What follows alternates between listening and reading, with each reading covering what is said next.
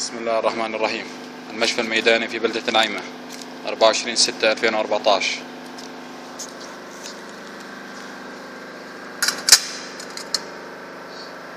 استخراج شظايا من أحد المقاتلين على الجبهة جراء الاشتباكات الدائرة في القرية.